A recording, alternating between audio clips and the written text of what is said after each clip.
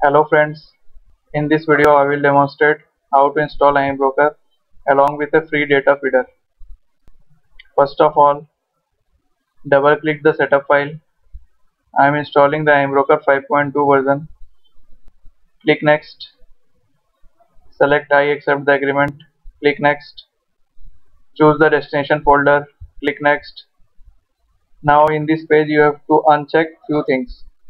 First, uncheck AmiQuote downloader, uncheck example DJI end of day database, uncheck eSignal plugin, MyTrack plugin, IQ Feed plugin, also uncheck Code Tracker plugin and Interactive Brokers plugin. So in total we have unchecked seven things.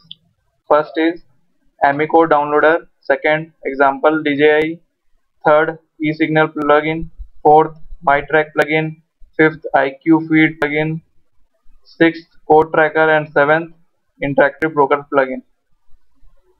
Now click next, again click next, next, now install.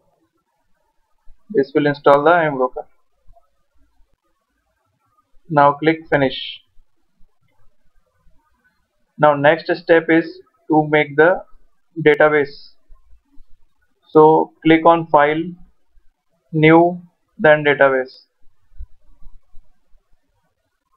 Change the name. Change the name for the database. I am writing it RT data. Click on create button. Now change the number of bars to 30,000 change base time interval to 1 minute. Now click on intraday settings click show day session only. Change the timing for day session from 9:15 to 15:35 we have changed two things. Selected show day session only. Second change the timing for day session from 9:15 to 15:35 click on ok then again ok now you can close AmiBroker. Now we will install the data feeder. Data feeder is from stock life. They are giving free data feeder.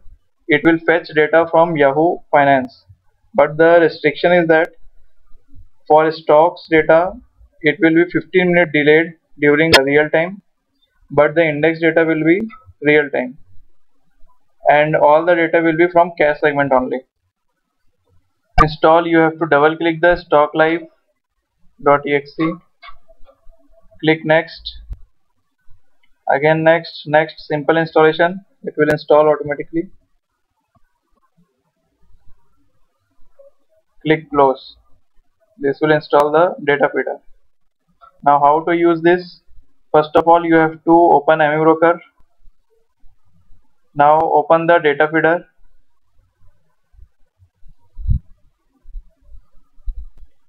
you will find a red button. Broker is not connected. Click here to connect. Just click it. It will show connected. Now you can select stocks from the list. List of 33 stocks you can select it.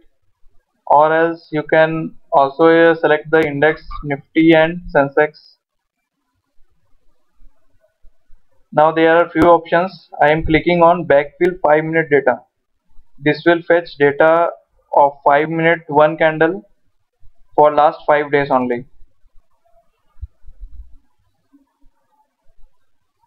Click on AmiBroker, go to all folder, click on Nifty.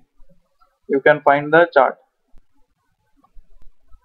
You can right click, go to intraday, select 5 minute. This will show the 5 minute chart there are few other options also like one minute data. This will fetch one minute data for one day for the last trading day or the current trading day. During market time you can select real-time data. You first you have to select the chart refresh rate 5 second 10 15 or 20 seconds. Then click on start. This will start fetching data from Yahoo Finance real time. Okay, this was for the installation thing.